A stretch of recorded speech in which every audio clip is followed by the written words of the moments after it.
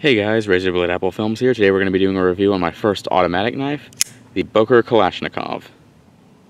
So, going over the design real fast, I'm going to keep this kind of short and sweet. Uh, mainly because, you know, uh, I think this is a very high quality knife. There's nothing wrong with it, but just having it and feeling it in hand and everything, I, I don't know. I just don't really like it that much, and I know, uh, you know, I'm, I'm not going to keep it. It's not going to be one of those knives that I really like, so thought why not just sell it now while it's still in pretty good condition. so, uh, going over the design real fast, it is an automatic knife. Pretty sure it has a plunge lock. Uh, so, you know, you can see it right in there. Disengage the blade. So to, you know, work that, obviously, there's no safety. You know, nothing on there like a Benchmade knife. Some of them have one on the top or right here. Uh, this one doesn't have a safety. It is very recessed into there, uh, into the handle. Like, you know, the button doesn't stick out much. I've been carrying this for like two weeks, maybe three weeks. Haven't had a problem with it deploying in my pocket. It's never done that. So, but once you do, you know, once you get to it, it's uh, it comes out really easily and it's not a problem to get to it. Now, when I first got it, actually, it was a bit sticky. Uh, the lock did kind of, you know, kind of felt scratchy and felt kind of hard to get to, but it's like smoothed up after a while. You know, and now it's like really easy to do. Also, I couldn't close it one-handed uh, when I first got it. I knew like when I got the knife, you know, it's an automatic. It's not really meant to be closed with one hand. You know, it's way easier and safer to do that. You know, just press it down and, you know, close it with your other hand. But, uh, you know, one of the pros of having an automatic knife is, you know, if you're doing something with one hand, you can just you know, flick your knife out really easily, cut it, and then put it away. But it did smooth up uh, considerably, so now it's very easy to close with one hand. I can't do it with my left hand just because of like, you know, how the buttons on the opposite side, but it's pretty easy to close them with my uh, right hand. Feels pretty much just like a spring-assisted knife. Uh, easy to deploy with my left hand though. In fact, I can actually deploy it a little easier. I think it's easier to press it with your index finger. Now it's looking a little bouncy. Oop, scratch my table. Uh, yeah, like I said, it's looking uh, like it's kind of bouncing a bit. That's the first time I've actually noticed it doing that. Maybe it's just the way it shoots out on camera, but it's never failed to deploy. It's a rock solid lockup, like no blade play at all.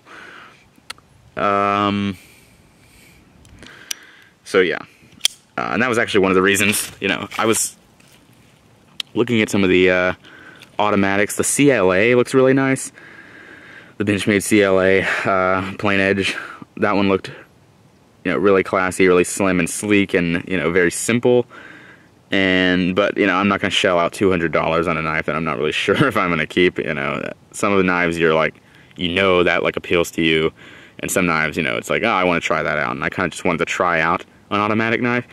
And for that reason, I think this roll, uh, this knife fits that role really perfectly.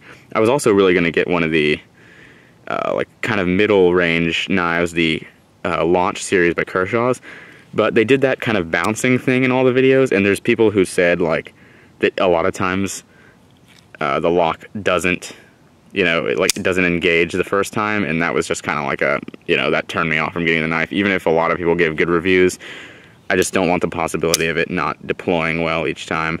Haven't had that uh, issue with this knife, and this knife's only like $40, though I got mine on sale when Blade HQ was having a sale for like $27, so it's a steal of a knife. Um, so yeah, uh, I think this is a saber ground blade, and has AUS-8 steel. Uh, didn't come really sharp from factory. I'm used to like I guess Spyderco knives or a lot of knives come really sharp from the factory. This one didn't come that sharp at all. I had to spend like 15 minutes getting it sharp, and I don't know what it is about this specific knife, but AUS-8 on my uh, SE Zancudo, you know, I can strop it and not strop it. I can uh, swipe it on a Spyderco Sharpmaker, the fine stones, and I can get it like hair shaving sharp really easily in like a couple of minutes. This knife I had to take some time with, and it still just doesn't feel that sharp. I'm sure it is, it just doesn't feel that way, and I still haven't been able to get it to shave hair, so I don't know if it's an issue with the grind lines or, uh, I mean, how it was ground. You know, I really don't know. but that's just my experience. It is cutting sharp and it has a workable edge, but uh, it's just kind of hard to get like razor sharp. Uh, haven't had anything clank up against it in my pockets. I never carry anything in my knife pockets but my knives, and it's already got some little scuffs and scratches on it, specifically where the pocket clip is held.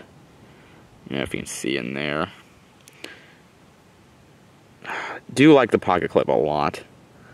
Uh, it doesn't have any damage to the edge yet, except for the very tip.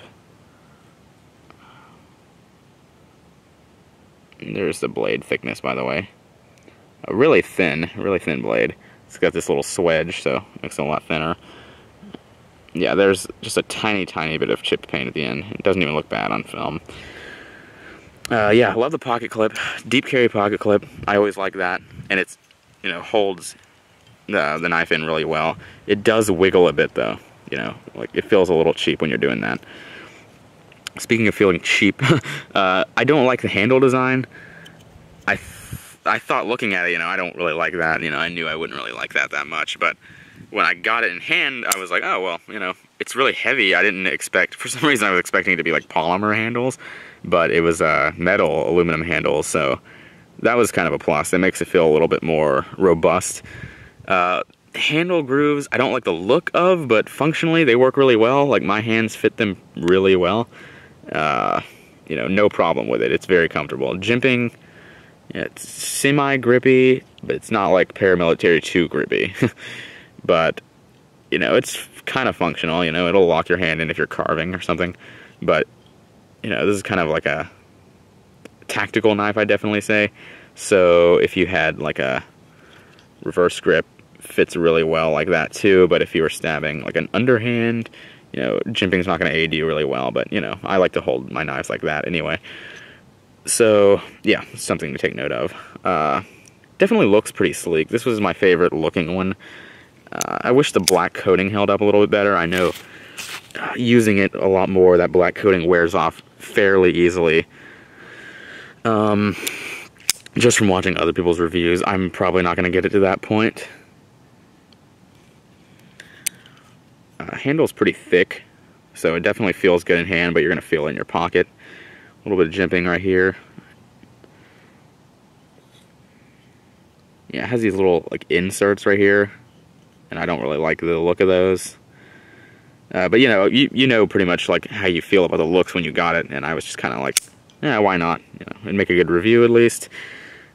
Uh, so, knife feels very high quality uh, for what you're getting. You're only getting like a, I mean, you're only paying like $35 on average for this knife and for that I think it's a great deal. I think it probably is more reliable than the Kershaw Launch series but hey I can't really say that because I haven't used them. So and I haven't really hard used this one so this is kind of just an overview. Uh, so yeah that's pretty much it as far as the design goes. Little pivot screw right there looks kind of cool. It's got like a little design on it. I think it says Kalashnikov. Also says it on the handle. And I think these are made in Taiwan. So let's do some quick size comparisons.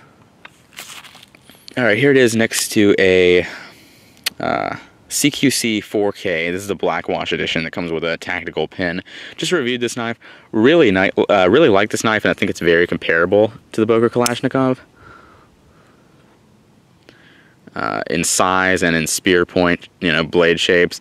Though I actually like this one a little bit more you know, I just think it looks a little bit better. Like everything about it, I like. It's like designed well, but you know, they're both kind of uh, budget tactical knives. I'd definitely say. Though uh, a lot of people use these for EDC, and I think they work well for that. So let's put that right there in the middle. Uh, let's put it next to a. Most people have a full-size Griptilian or some type of Griptilian. Uh, so put it next to that, and finally we're going to put a paramilitary 2 at the end.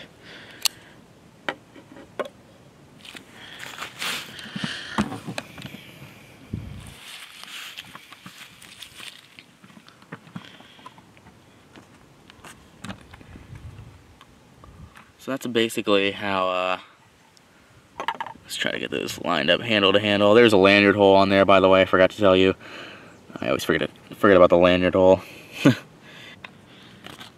Quick video, I mean a quick test on how it will ride in the pocket.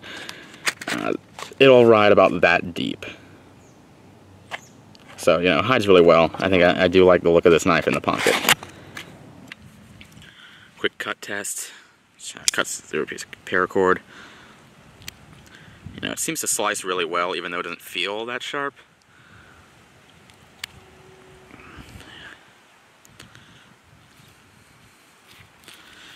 So here's a really thick piece of uh, nylon and there are little cardboard uh, strands running through that.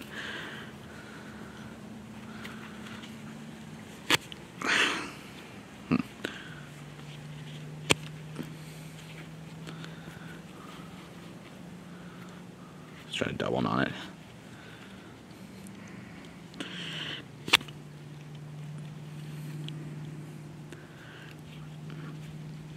Kind of wish they would have made the handles out of G10. It's kind of hard to get a grip on them because they're, you know, metal, so it's kind of really slippery.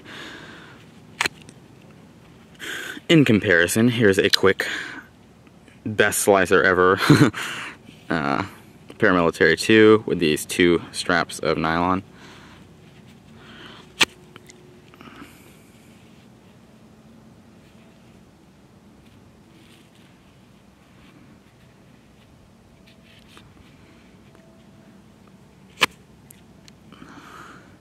Shorter blade length on both these knives are prohibiting it just a little bit. Alright, do a quick spine whack test.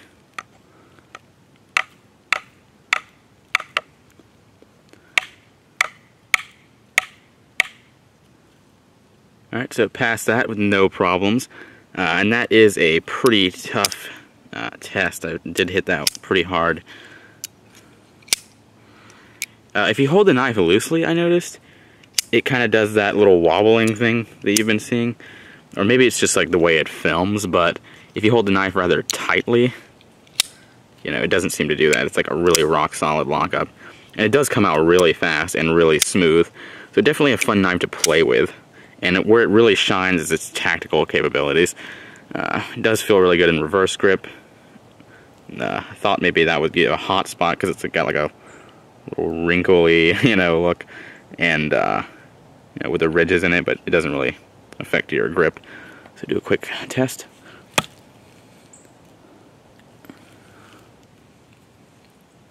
So no damage to the blade. Uh, it's not bent or anything like that.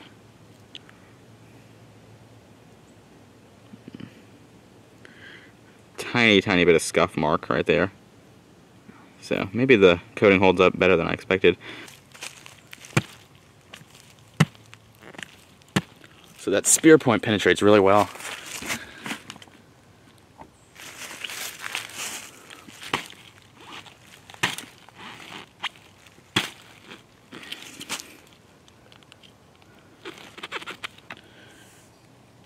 So all in all, the Boker Kalashnikov, uh, great knife for the money, uh, definitely a great automatic knife for the money. I think it definitely has some tactical capabilities uh, if you needed it in a an emergency situation.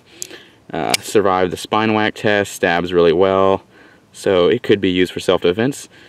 Uh, slices decently well, though, I don't know, something about the blade geometry seemed a little mm, finicky to me. And I just don't really like the aesthetics of the knife that much, like just the overall lines and, you know, design. So I'm probably going to be selling this one. But still, I think it's a very great, reliable knife for the money, and it is a good value. So that is my review on the Boker Kalashnikov. Thanks for watching, and I hope you enjoyed it.